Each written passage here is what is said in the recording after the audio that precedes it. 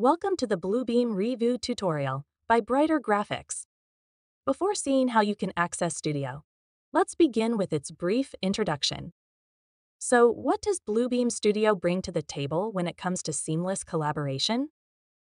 Bluebeam Studio offers studio sessions and projects as a dynamic duo for cloud-based collaboration.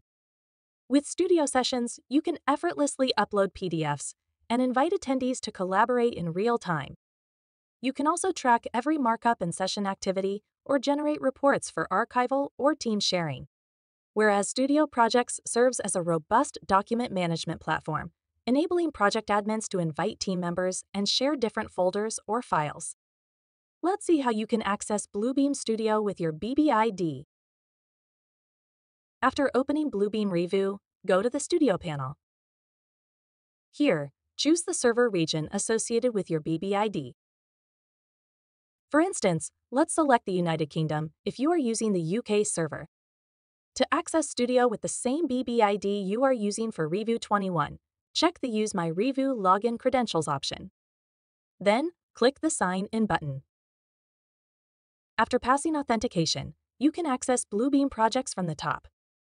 Projects in the studio are categorized as joined and not joined projects.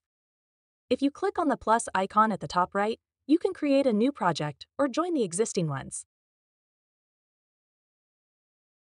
Similarly, if you go to the Session tabs, you will find joined or not joined sessions categorized alike. From the plus icon at the top, you can also create a new studio session for collaboration with your team members or join the existing sessions on the go. Watch the next videos of this series to understand how to use sessions and projects in Bluebeam Studio. Now, click the Studio option at the top left and hit the Sign Out option to log out. This is it for today. For more Bluebeam tips and tricks, stay connected with Brighter Graphics, digitizing construction since 2003.